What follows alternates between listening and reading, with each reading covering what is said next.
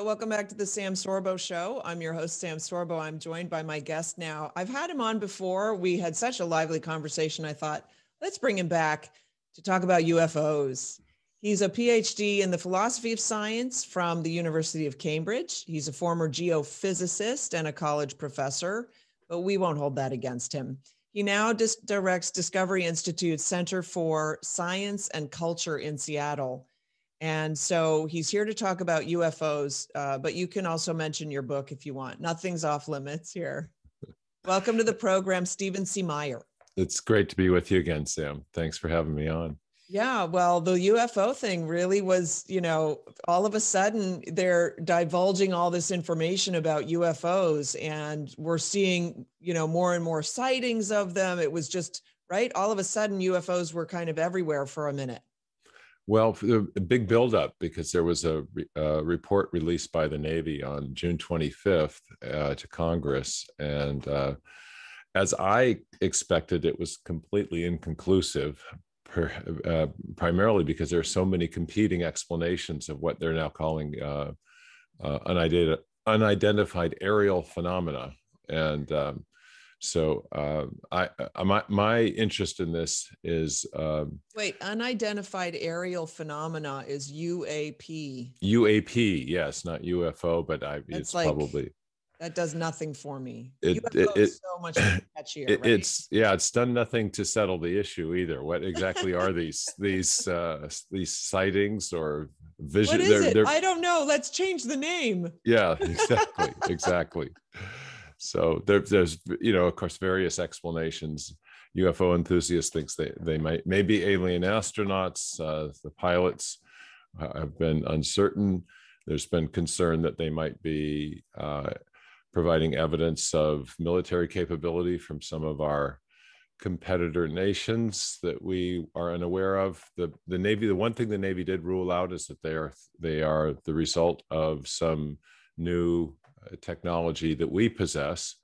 Uh, another another uh, explanation is that they are kind of uh, visual mirages of various kinds produced by um, terrestrial aircraft. There's been Have one. They ruled out Harry Potter.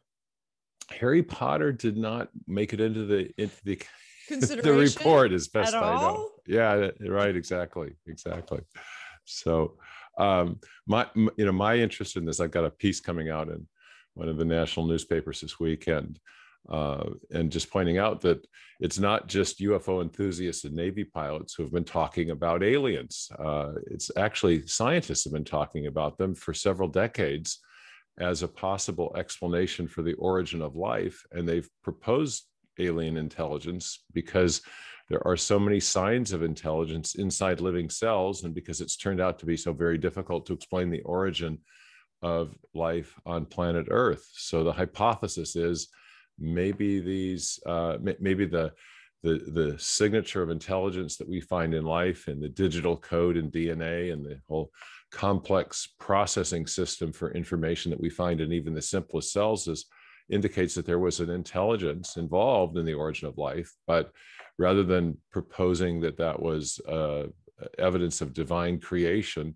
some scientists have posited that the, the alien intelligence, uh, uh, alien astronaut, uh, seeded life on Earth after that alien intelligence e- first evolved on some other planet.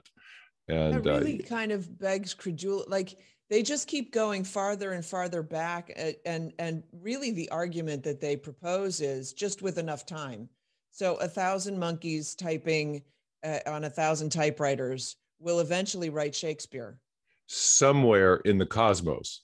Not, not here right. not here not, mind maybe you. not the here so not yeah the here. conditions weren't, weren't here. I mean it, it seems so fanciful but no less a person uh, personage than uh, sir francis crick who was the co-discoverer of dna and very much aware of its information bearing properties. Uh, after all uh, bill gates has said dna is like a software program but much more complex than any we've ever created. Richard Dawkins, the world's uh, greatest scientific atheist, has acknowledged that DNA is like a machine code. So you got software inside cells, which seems to suggest a master programmer for life. And so then the question is, where did the where did that programming happen? Where did that and uh, some have proposed out in space. Richard Dawkins actually floated this idea uh, in a film you may have seen it was several years ago called Expelled with uh, Ben Stein. And near the end of the film, Ben got Richard Dawkins to acknowledge that, quote, no one knows how life first evolved through chemical evolutionary processes, but uh, it, that and and therefore there, there might have been a signature of intelligence in the cell but he said if so it must have evolved through a purely natural means somewhere else in the cosmos and it, you're right it just it begs the question because uh, of the ultimate origin of life and the ultimate origin of information because it doesn't tell it, it, provides no explanation for how the information needed to build the first cell on some other planet arose from which then the alien intelligence would have presumably right. evolved and then sent life to earth uh, this is proposed i think the ancient aztecs sent a spaceship to a foreign planet so that that the they could plant life there and then life there actually sent life back here. That there you go. It, it's no it's no less fanciful is it? I mean that's, circular, that's what yeah. Circular reasoning. If, if we're going to beg questions why not just beg some more you know? So right. Um anyway so that's a, uh, you know so that's been the nature of my interest in this. There's actually this theory actually has a name. It's called panspermia or directed panspermia. And it's it's been at least floated by very serious scientists fred hoyle Sir francis crick uh, and uh, even richard dawkins who i now think probably regrets that because uh, he said it on camera but uh, that was the um, and there in in in my book, uh, Return to the God hypothesis, I actually take this hypo- this hypothesis on and take it seriously for the following reason. When I previously made a case for intelligent design in my book, uh, Signature in the Cell. I didn't attempt to identify the designing intelligence. I just argued that an intelligence of some kind must be responsible for the information that we find inside living cells because information always arises from an intelligence of some kind, whether we're talking about a computer pro- program or a paragraph in a book or information embedded in a radio signal. Um, and there are, by the way, scientists looking for life in space who are looking for evidence of life in radio signals. They're looking for information embedded in a radio signal. It's called the search for extraterrestrial intelligence. And while we haven't found any such evidence of intelligence in radio signals coming from space, the very informational signature that they're looking for is present in the DNA molecule. So you can see why people are thinking there must have been a mind, there must have been intelligence. But of course, positing intelligence in space doesn't solve the ultimate question, which is where did the information come from to get life going there? And it also doesn't solve another question, and this is well, something I. They, I'm just going to interject here. I think yeah, go ahead. Rather, they'd rather worship an alien creature than God.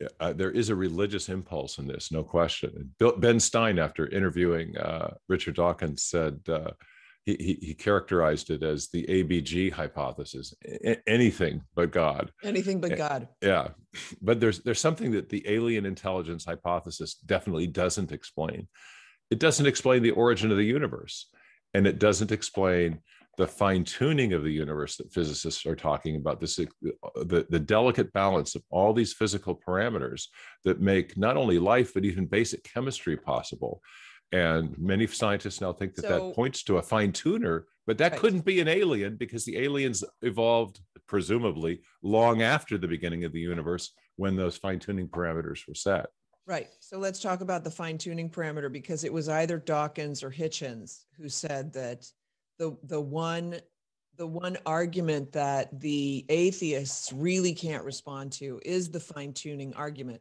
So explain the fine tuning argument if you don't mind, and uh, let's just talk about that for a minute. Yeah, you bet. So the it was starting in about the 1950s and 60s. The physicists began to dis, uh, discover that there were the, that there were many parameters of physics that could well have been otherwise. For example, the strength of gravitation, or the strength of the force called the cosmological constant that's pushing the universe apart from outward from the Big Bang at the beginning, or the masses of the elementary particles. And physicists now characterized our universe, now characterize our universe as sometimes they call it a fortunate universe or a Goldilocks universe, where the fundamental forces are not too strong, not too weak. The masses of the elementary particles are not too heavy, not too light. The speed of light is not too fast, not too slow. All these things are just right. And uh, Fred Hoyle, who was uh, once an atheist, later having discovered some of these parameters, said that uh, a, a, common sense interpretation of the data such suggests that a super intellect has monkeyed with physics and chemistry, and that there are no blind forces in nature worth talking about. That uh, fine tuning points to a fine tuner. But the well, can interesting, I just, yeah, I go ahead. I just want to interject because I love that. Um, the idea that physics and the laws of physics exist, they predate the universe the laws of mathematics predates the universe. Well, they they certainly predate the origin of any would-be aliens or us. and they they were set or the, the air these, force for that yeah, matter yes exactly exactly and the, the the fine-tuning parameters were set either at the very beginning of the universe or soon after and long before any uh, complex organism could have evolved for right, so first... when we talk about fine tuning, we're saying, and you can look this you can look this up in um, Stephen Hawk Stephen Hawking's book. Stephen Hawking talks about it. Yeah. Most of the major, uh, the leading physicists acknowledge that fine tuning is a real phenomenon that so, needs an explanation. In other words, if the force of the explosion had been, I think it's one times 10 to the 27th of a degree, uh, you know, that much off, then it wouldn't have expanded and formed the planets. It would have collapsed. If it had been that much greater, it wouldn't have formed the solar system. It would have continued to expand. And so even he admits that there isn't a, a, a plausible explanation for not just that, but the idea that we have that, we have the gravitational constant which is what it is. We have all of these other parameters that fit together. That's the fine tuning thing, is that it's this um, this co- coalition of coincidences that it, it's too too much to be explained away with. Well, it was just by accident. And the the further argument is, if evolution just happened by accident, why aren't we still seeing it today? If we if i evolved from an ape why why is there still the ape? What what happened to those guys that they didn't evolve? And, well and uh, the, yeah absolutely. I get asked this a lot and of course one of the most obvious common sense observations that we all make is that like begets like you know dogs produce right. dogs and frogs produce frogs and, and i didn't uh, give birth to toasters. Yes exactly. or giraffes. And and so the the postulation from the neo-darwinists or giraffes. The the the neo-darwinists say well you know give it enough time very small changes add up. But what we see is that the the processes that produce small changes that we can observe tend to degrade the genetic information that's present in living systems. And to build something new, you can't degrade information. You need new information. It's just like in the computer world. You want to give your computer a new function, you've got to provide new code. And so the question is, where does all that information come from at the point of the first life, the origin of life, and the point of the big explosions that we see in the fossil record, like the Cambrian explosion, where you get completely new forms of life arising? Th- that new information, I think, indicates the activity of mind. But back to the fine tuning Yes. Uh, you're right. It's present from the very beginning. And therefore, it, it can't be explained by us or by any alien intelligence within the cosmos. We don't even have atoms for the first 380,000 years after the big, the Big Bang. It's a plasma state. And yet, the initial arrangement of matter and energy, physicists tell us, was fine tuned to an unimaginable level of precision. The number they use is one part in 10 to the 10th power raised again to the 123rd power, they call it a hyper exponential number. You can't even get your mind around the level of precision that's involved there. So, off a little bit this way or that way, we don't get stable galaxies, we don't get planets, we don't get anything. We don't even get basic chemistry with many of these parameters unless they're exactly finely tuned.